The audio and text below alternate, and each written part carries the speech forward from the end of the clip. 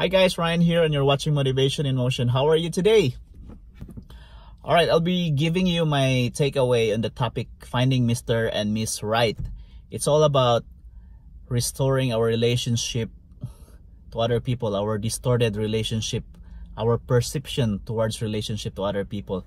Now, um, brothers and sisters, there are four main keys to restore our relationship to other people this is number one is finding love through one god. Second is finding love through family. Um, third one is finding love through ourselves. And the fourth is finding love through the church. Now brothers and sis um, sisters i want to share you something. Yesterday i was with my daughter. We went to our parish our parish church for her pre-confirmation seminar. And Father Ed the, the parish priest separate all the kids and the parents. So we went to the to the other room. Now um we were given some lecture about sacraments. He the priest taught us about the seven sacraments um the sacraments of baptism reconciliation confirmation, holy orders, anointing of the sick, marriage, and etc. There's seven sacraments.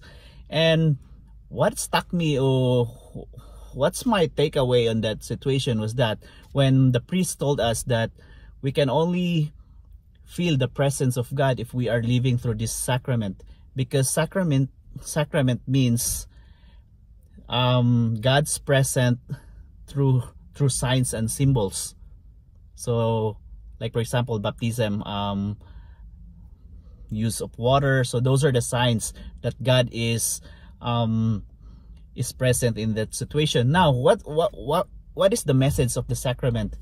So according to father ed living with the sacraments it means that god is giving us his blessing or god's grace will be bestowed towards us.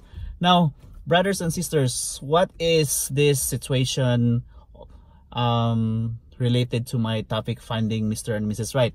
Now one way to look, at it is that when father ed told us that if you have the presence of god if you have no the grace of god for some reason you are at peace.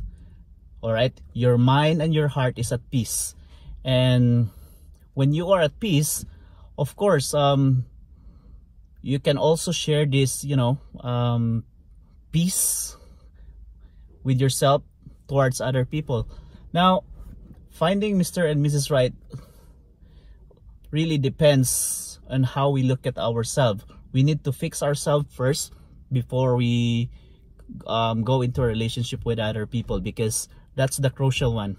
So brothers and sisters my message today uh, my takeaway on the the you know the topic finding Mr. and Mrs. Right and my experiences I have with my daughter when we went to the church is that God is the only one Jesus Christ is the only one who can give us peace and through this experience of peace therefore we can share this peace to other people that are watching us that are you know observing us that that is observing our behavior so um message for today is we can only fix or we can only find Mr. and Mrs. Right if we ourselves already have um, that you know that value or the quality um, I hear the saying that you cannot give what you don't have so if you want to give love if you you want to give peace if you want to to you know restore relationship to other pe uh, people or share relationship to other people it always drills down to ourselves